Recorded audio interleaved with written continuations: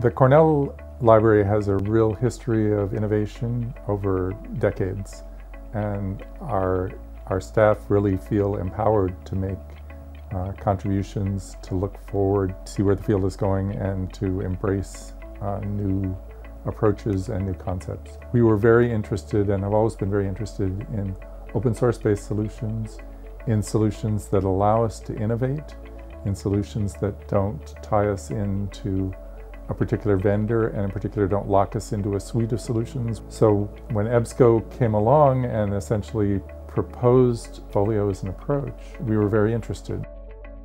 So Folio is an open source library services platform that potentially allows libraries to really innovate on their core services, while at the same time providing a platform that we can potentially use for new services. The Folio effort is, is a very focused effort, which is, has actually been great. I don't think we've been on any projects where we've had this large a team really working in this kind of agile development style in the open source community in an open source project. The partnership with initially EBSCO and, and potentially other hosted service providers is really going to be critical to the success. For enterprise level systems, they want to have somebody they can count on to make sure that the system is going to run and not necessarily depend only on themselves.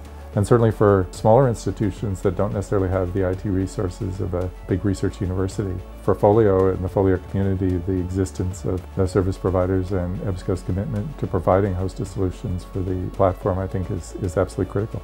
I think there's been a real shared vision for Cornell, for the OLE partners, working with EBSCO and Index Data. We all see this as a way for us to really advance.